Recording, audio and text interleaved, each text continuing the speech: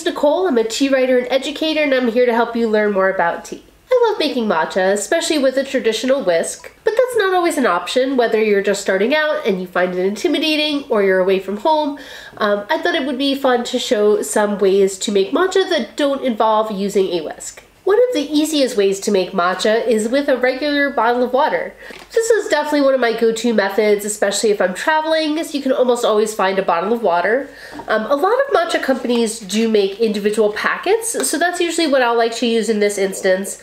Um, like these from Mizuba Tea Company. They come in this little pack that's almost like the size of a deck of cards, so it's really easy to just stick in your suitcase. So it just makes it even easier to make matcha when you're on the go. It can be a little tricky to get it into the bottle if you're not using an individual packet. In that case, a, fun, a small funnel might be helpful. I recommend taking a sip first to make sure that you have enough room to add your matcha.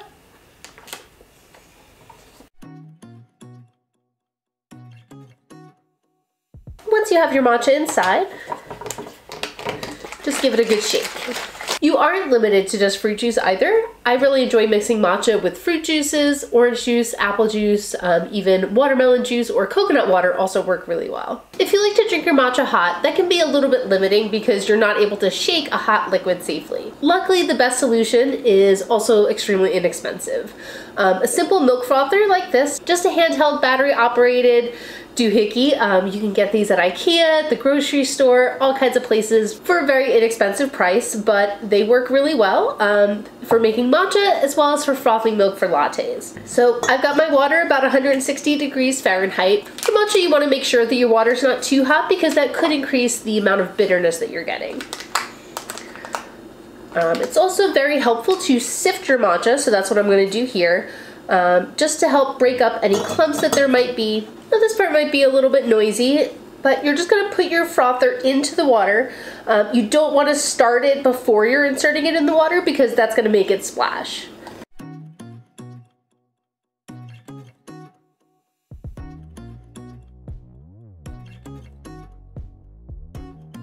So you can then pour this into your cups for serving. Um, you can see I was even able to get a nice bit of froth on this. The handheld mixer does do a pretty good job of aerating the matcha, um, and that also does help improve your taste as well. One thing to look out for is to make sure that the container you're mixing your matcha in is taller than it is wide. Wider bowls are just a lot harder to control when you're using a handheld mixer like that. So something like a traditional matcha bowl might not be very practical, um, but you can always use something like this is just a measuring cup that I happen to have in my kitchen cabinet. Next up are blender bottles. These will often be sold for things like protein shakes where they kind of have a, a plastic or a metal ball inside and that will actually help your matcha be mixed into the water.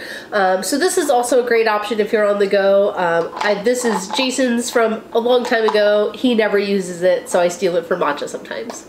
Another option, this is probably one of my favorites when I have it accessible, is a cocktail shaker. This is great for making cold matcha. Um, you can shake it with the ice and really get it super, super cold, um, which I really like, especially in the summer. Um, you can also add other fun ingredients like mint leaves or other things um, to kind of spice up your matcha a little bit as well. Um, so you're just gonna put ice with your water and your matcha, Give it a good shake and then pour that into a cup. When I worked at Teavana, this was how we made all of our ice to go cups of matcha. Let me know in the comments what your favorite way to make matcha without a whisk is. As always, I'd love to hear any other tea questions that you might have. Um, they might just inspire my next video. Thank you for watching and I'll see you next week.